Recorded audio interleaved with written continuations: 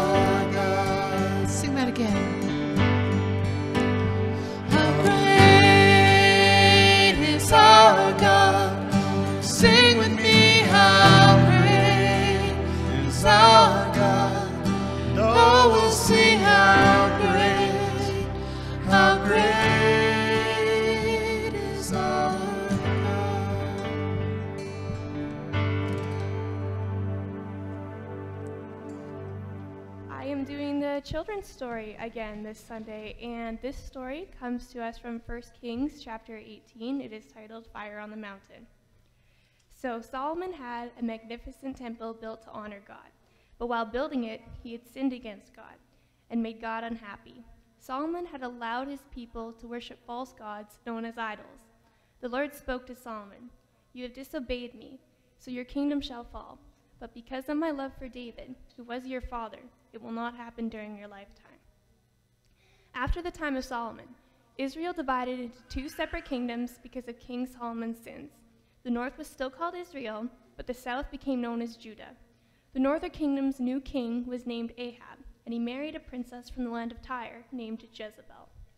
Jezebel was not a nice person, and she worshipped false gods. She said to King Ahab, I want all the people to worship my God, Baal. Anyone who refuses can be executed. Her husband said, Anything you say, Jezebel.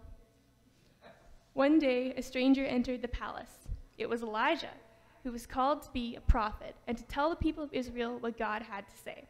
To get their attention, God told Elijah to tell King Ahab, who had become known as the bad king of Israel, that God was going to send a drought. Elijah said, Here's what comes of insulting the one true God. He will send no rain until you hear from me. Elijah then disappeared, but his words became true. Because of the drought, the people of Israel had no food, and they wondered why Queen Jezebel's God didn't help them. In the meantime, Jezebel had led King Ahab to also worship her false gods, and she began to persecute the prophets of the true God, people like Elijah. Months later, Elijah went back to King Ahab. Ahab pleaded with Elijah, Tell me what it will take to bring back the rain. Elijah said, I want a showdown with all the prophets of Baal on top of Mount Carmel. Soon, a crowd gathered at Mount Carmel. Elijah said to them, People, the true God will not tolerate the worship of Baal. Today, we'll see which one has the power Yahweh or Baal. The priests of Baal will offer a sacrifice, and I will pray to God. Which one will send fire? The Baal priests made their sacrifice, and they chanted for hours and hours. After what seemed like forever, they tired out. Elijah said, Maybe you're not shouting loud enough. Maybe Baal is sleeping, or maybe he isn't even home. Alone, Elijah built his own altar. The people watched.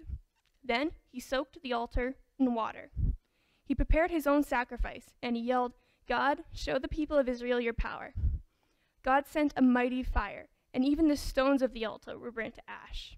The people of Israel realized how foolish they've been, and a mighty rain came to replenish the land. The true God has revealed his power. What can we learn from this Old Testament story? Well, God is incredibly powerful, but he also gives us so much grace. The people of Israel abandoned God, but he still took care of them after they repented of their sins. Even when we forsake God, he makes the first move to bring us back to him. We will suffer the consequences of leaving him, but God always invites us to come back so he can restore us. He hears and answers our prayers. I want to share with you an interesting concept. It can be confusing to be a kid. When I was a kid, one minute they were telling me to smarten up, and the next minute they were telling me not to get smart. I mean, what's a kid to do? Some kids have more confidence than others. I talked to one child recently and asked him about how uh, his school work was going. Actually, um, he was in first grade. And so I said to him, Have you learned everything that there is to know already? And he said, Well, almost. People who think they know it all can be annoying, wouldn't you agree? Mm-hmm. In fact, uh, those of you who think you know it all are particularly annoying to those of us who do.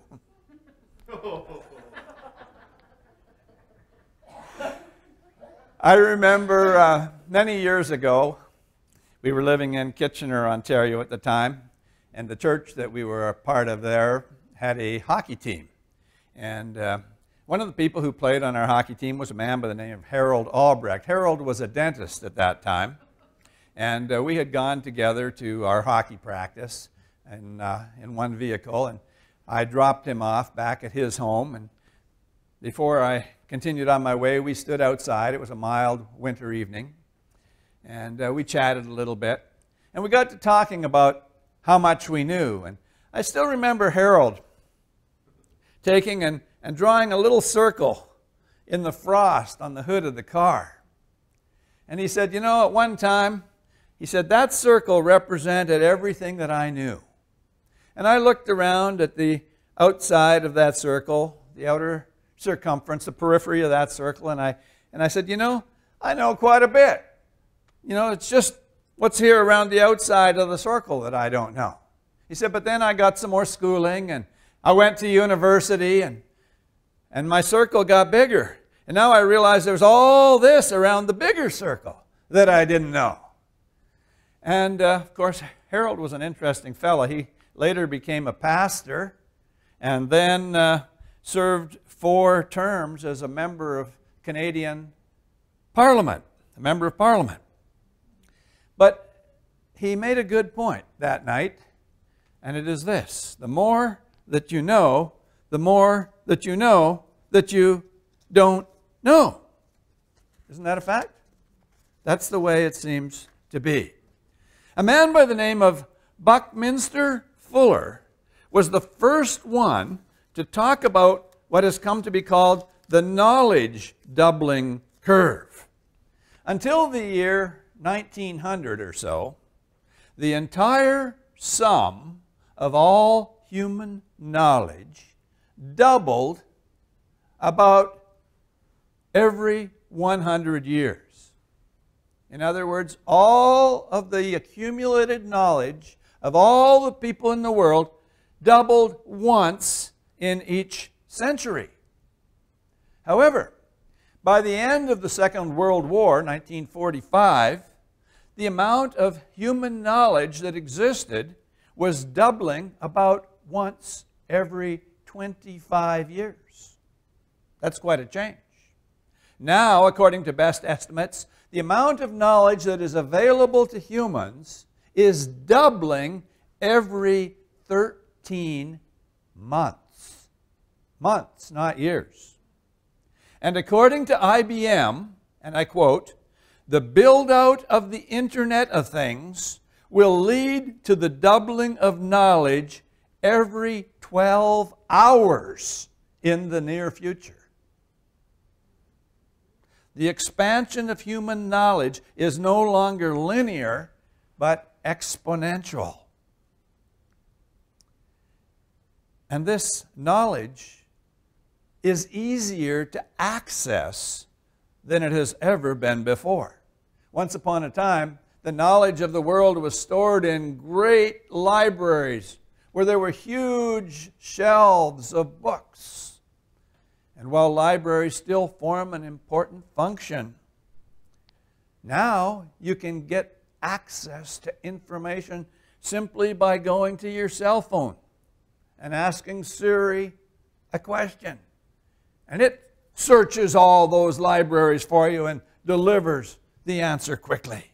Your cell phone, that little cell phone you carry in your pocket or your purse, has more computing power by far than the space vehicle that carried the first humans to the moon.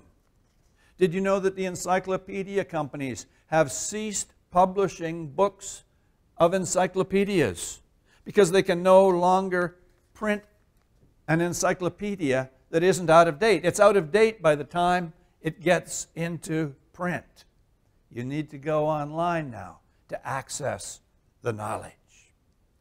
The fact is that while human knowledge is expanding exponentially. Human knowledge can never solve the turmoil and the chaos in the human condition.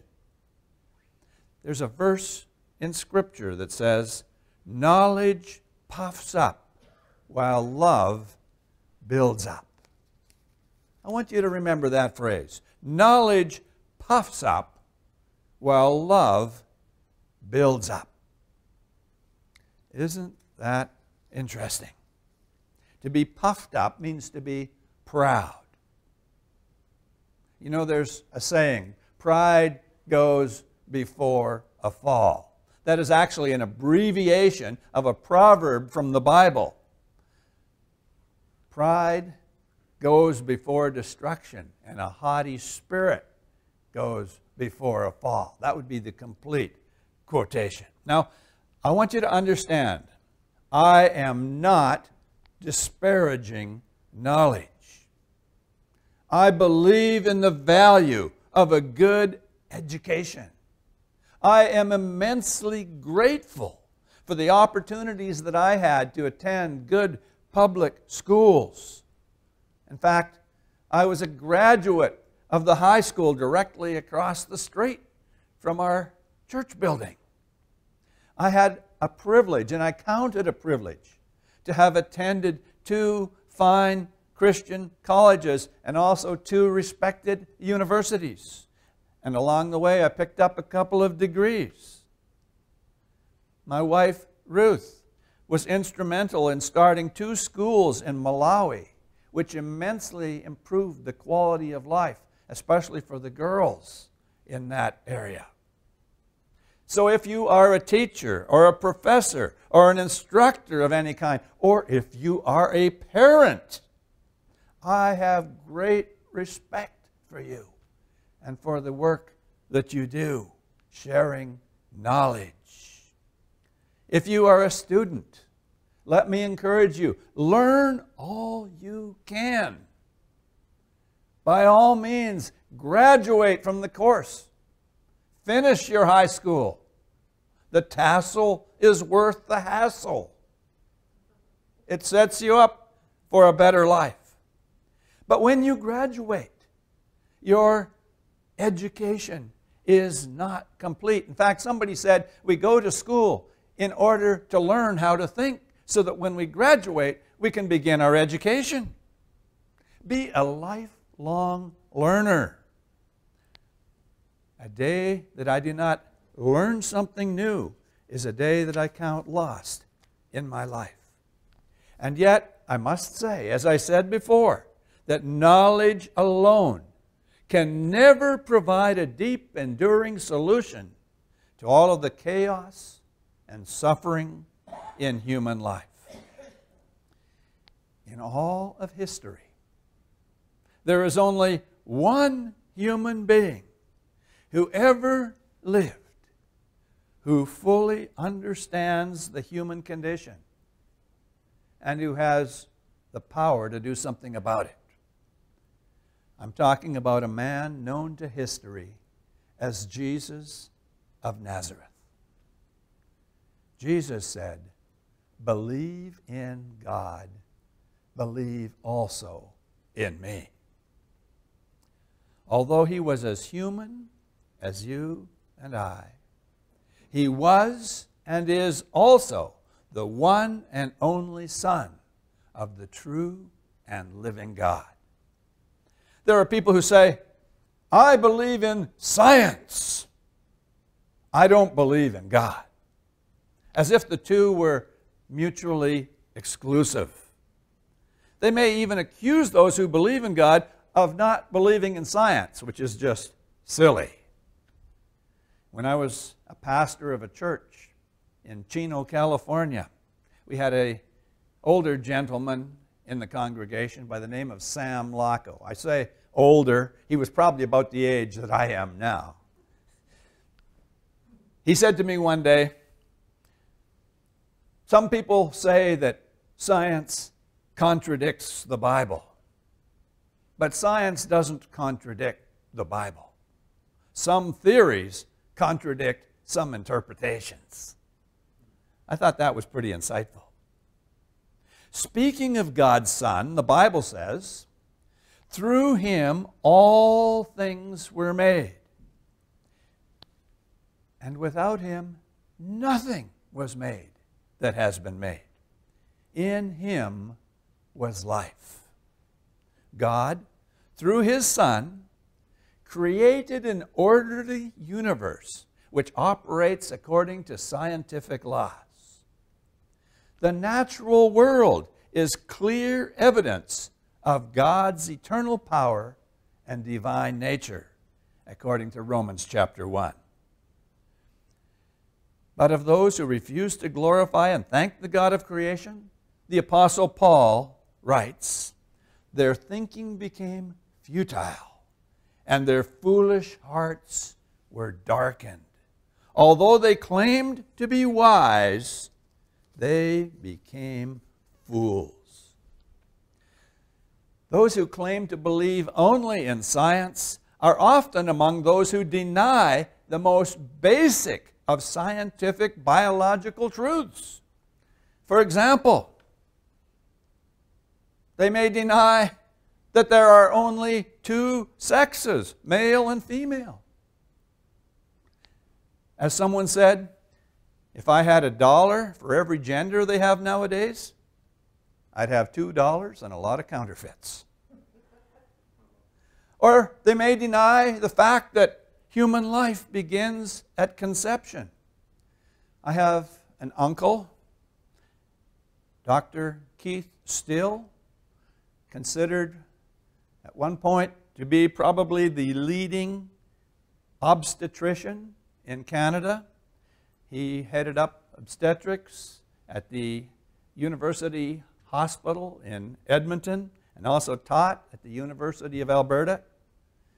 And I remember him saying one day, from a scientific perspective, there is no doubt that human life begins at conception. The only thing added after that is nutrition. It seems there is no end to human foolishness. I was reading in the news this week that in San Francisco there is a move to change the names of schools named after historical figures such as George Washington, Thomas Jefferson, and Abraham Lincoln.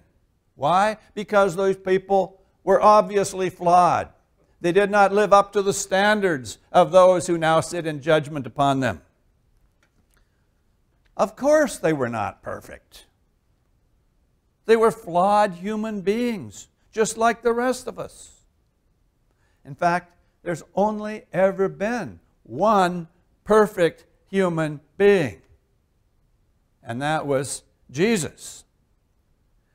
So I got to thinking if we can only name our institutions after perfect people, we will have to name them all after Jesus. Every school, every university, every hospital, every scientific laboratory, every fine arts museum. Actually, it would be kind of nice, I suppose, if they were all named after Jesus, but it would also be pretty confusing. Remember that biblical phrase, knowledge puffs up while love builds up. You see, God is way beyond us, and He is way beyond any knowledge that the human mind can ever discover.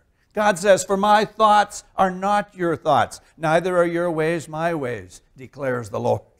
As the heavens are higher than the earth, so are my ways higher than your ways, and my thoughts than your thoughts. Isaiah 55, verses 8 and 9. Those who think they know something do not yet know as they ought to know, the Bible says.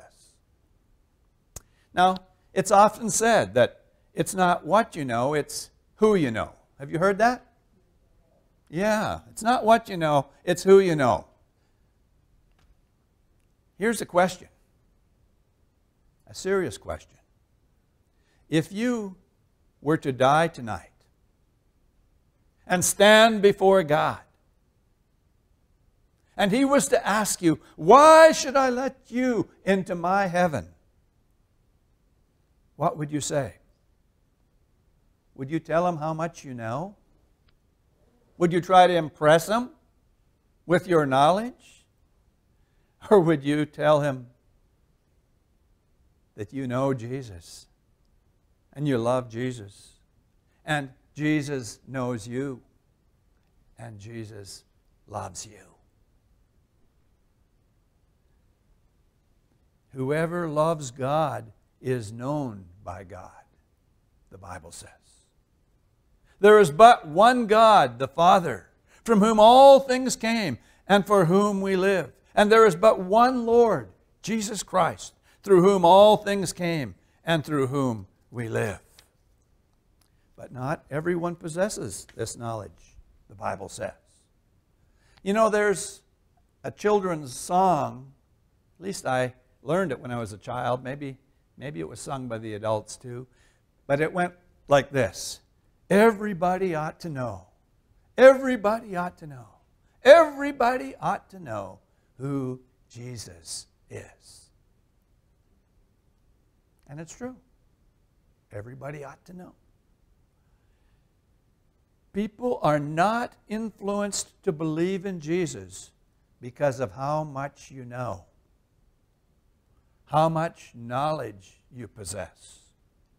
You will influence people to believe in Jesus when they see that you love them with the love of Jesus. People don't care how much you know, they only know how much you care.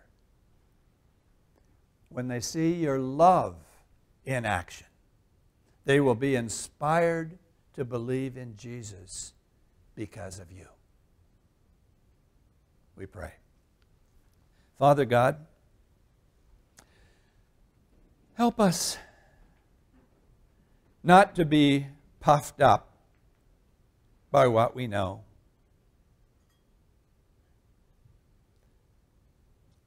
Help us to be humble, realizing that your thoughts are so much higher than ours. Your ways are so far beyond us. We don't always understand what you are doing, but we choose to trust you regardless. And while knowledge alone puffs up, love builds up. Thank you that your love has reached out to us. Thank you that your love flows into our lives and through us to others. Help us to be those who share your love with our marriage partners and our families, with our friends and our neighbors, and with people around this world as we have opportunity to make a difference.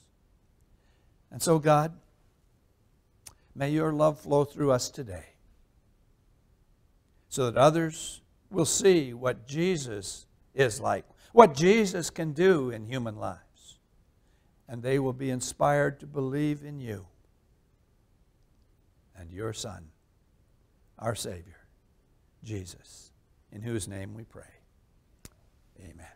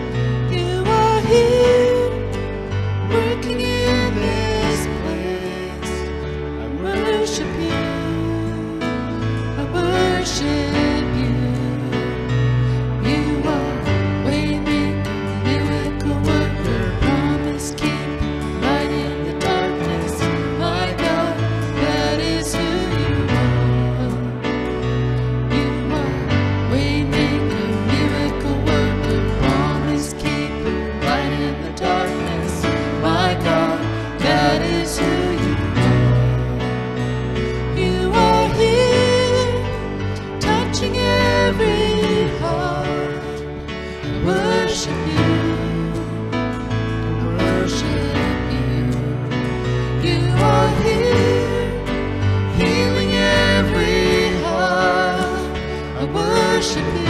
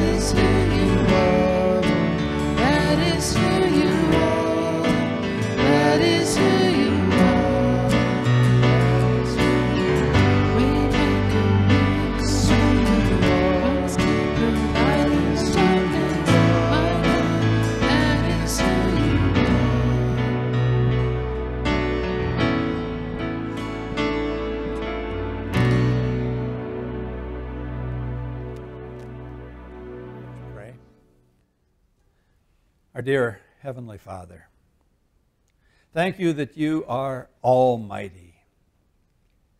You have all of the power and all the authority over heaven and earth. Thank you that you created us, each one of us, in your image. Thank you that you love each person so much. God, we want to thank you today that you are a miracle working, promise keeping God. Thank you that you are always at work in our lives and in the lives of the people around us.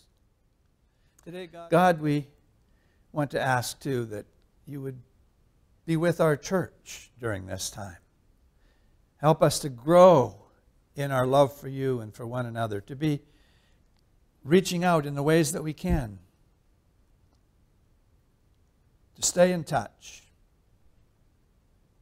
to express love, concern, and caring. We pray, God, that your church would grow and be strengthened during the time of challenge. And what we pray for ourselves, we pray for every church where Jesus Christ is recognized as Lord. As your word goes forth, God, we pray that you would empower it by your Spirit to change lives in our community, in our nation, and around the world. Today, God, we thank you for your word, which teaches us. Thank you for all truth, because all truth is your truth. Help us to learn and to grow as persons, but most of all, help us to grow in love, to be more and more like Jesus, in whose name we pray. Amen.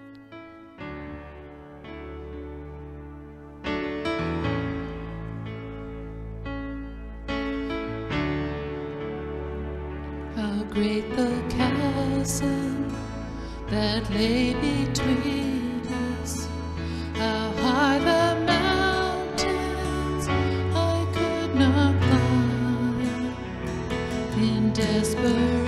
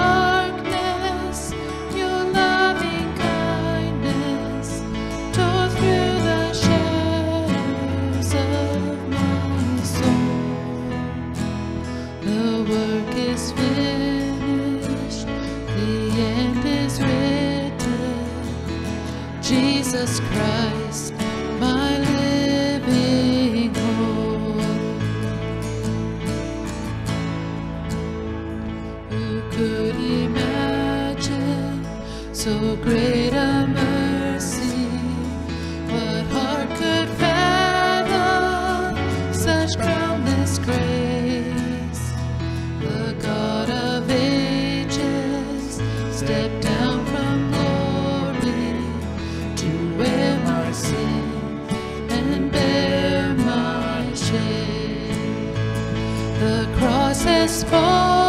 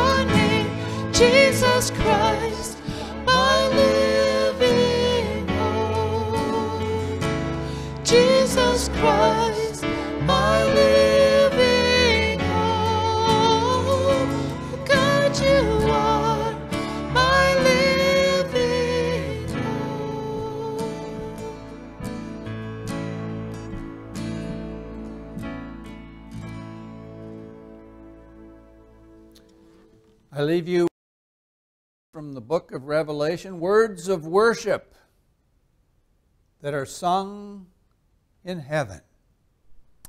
Amen. Praise and glory and wisdom and thanks and honor and power and strength be to our God forever and ever. Amen.